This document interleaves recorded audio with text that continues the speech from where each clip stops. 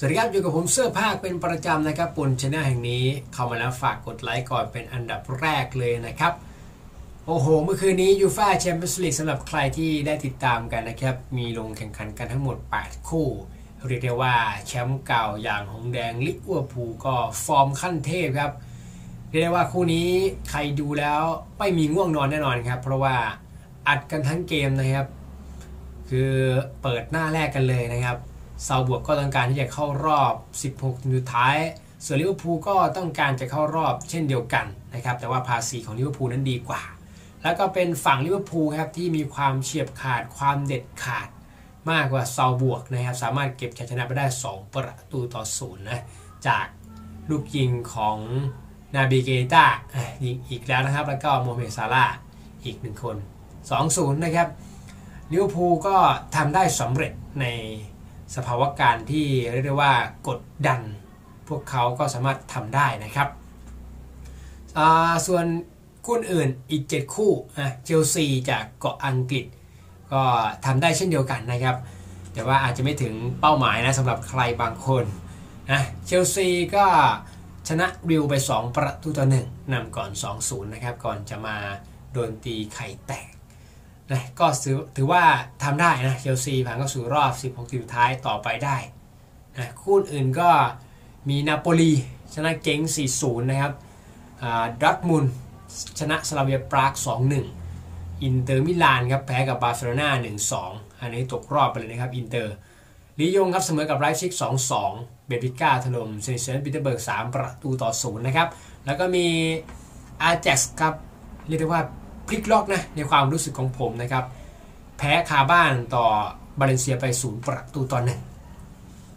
ทีมที่จะเข้ารอบนะครับ เมื่อคืนนี้มีแข่งขันกันในกรุ๊ปล่างก็คือ E F G แล้วก็ H นะครับกลุ่ม E นะครับเข้ารอบก็คือลิเวอร์พูล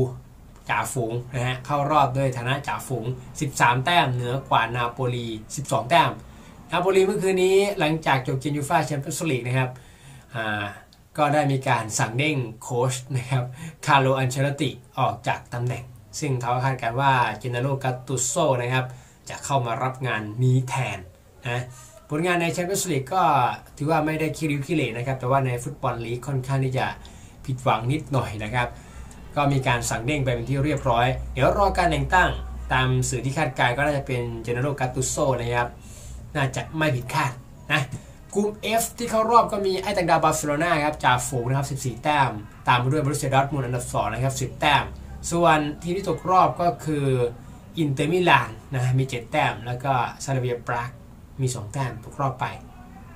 กลุ่ม E เมื่อกี้ที่ตกรอบก็มีซัลซ์บวร์กกับเกงค์นะซัลซ์บวร์ก 7 แต้ม เกงค์แต้มเดียวนะฮะตกรอบไปกลุ่ม G ครับกลุ่ม G เข้ารอบมีเอเบรซิกนะครับจ่าฝูง 11 คะแนน แล้วก็โอลิมปิกลียง 8 คะแนนนะครับ ส่วนที่ตกรอบไปก็มีเบนฟิก้ากับเซนิต เซนต์ปีเตอร์สเบิร์ก7แต้มเท่ากันนะครับ ส่วนกลุ่ม H ครับมีทางด้านของบาเลนเซียเป็นจ่าฝูงนะครับเชลซีเป็นอันดับ 2 แต่ว่าคะแนนเท่ากันที่ 11 แต้ม Head to Head บาเลนเซียดีกว่าครับประตูได้เสียเท่ากันนะครับฉะนั้นบาเลนเซียเข้ารอบด้วยฐานะเป็นจ่าฝูงครับอาร์แจ็กส์ครับตกรอบโอ้โหคะแนนเยอะที่สุดแล้วมั้งครับเนี่ย10 คะแนนนะครับ ตกรอบเฉยเลยนะครับ แล้วก็เป็นลีลล์ 1 คะแนนนะครับตกรอบเช่นเดียวกันกลุ่ม H คืนนี้มีแข่งขันกันอีก 4 กลุ่ม 8 คู่นะครับ A B C D นะกลุ่ม A ก็จะเข้ารอบก็น่าจะเป็นปารีสนะครับจากฝูงแน่นอนแล้วนะครับปารีสจากฝูงแน่นอนแล้ว แล้วก็เป็นมาดริดเข้ารอบนะอันดับ 2 แน่นอนแล้วนะครับ กลุ่ม B อันนี้ไม่แข่งขันกันนะ แต่ว่าจบไปแล้วตั้งแต่แมตช์ที่ 5 กลุ่ม B เนี่ยนะครับบาเยนจ่าฝูงแน่นอนนะครับ อันดับ 2 ก็ทอตแนมสเปอร์แน่นอนแล้วนะครับ เข้ารอบนะกลุ่ม C แมนซิตี้เข้ารอบจ่าฝูงแน่นอนนะครับ11คะแนนนะครับ ห่างอันดับ 2 อย่างชัคตาร์โดเนตสก์6คะแนนอ่าไม่ใช่ครับอ่าชัคตาร์โดเนตสก์มี 6 คะแนนนะ ห่างกันอยู่ 5 แต้มนะ ระหว่างจ่าฝูงกับรองจ่าฝูง อันดับ3ดินาโมซาเกร็บนะครับ 5 แต้ม กลุ่มนี้ยังมีลุ้นเข้ารอบกันอีก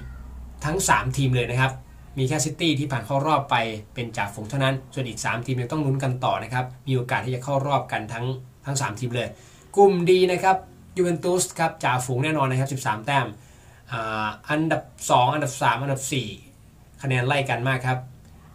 เจ็ดแต้ม 6 แต้มก็3แต้มโลโคโมติฟมอสโกตกรอบนะครับมี 3 แต้ม ส่วนที่จะต้องลุ้นก็คือเลเวอร์คูเซนกับแอตมาดริดนะครับแอตมาดริดมี 7 แต้มเลเวอร์คูเซนมี 6 แต้ม ฉะนั้นคืนนี้ต้องลุ้นกันต่อไปนะครับก็นี่คือสถานการณ์ล่าสุดของยูฟ่าแชมเปี้ยนส์ลีกหลังจากจบเกมค่ำคืนที่ผ่านมาครับ แฟนหงส์ก็คงดีใจ เช่นเดียวกับแฟนเชลซีแล้วก็บาร์เซโลนาบาร์เซโลนานะครับ ก็ต่างเข้ารอบกันทั่วหน้านะครับอะเจอกันใหม่คลิปหน้า เดี๋ยววันนี้มีวิเคราะห์บอลนะครับ อย่าลืมกดติดตามไปเลยที่ช่องแห่งนี้นะครับ เจอกันใหม่กับผมเสื้อผ้าสวัสดีครับ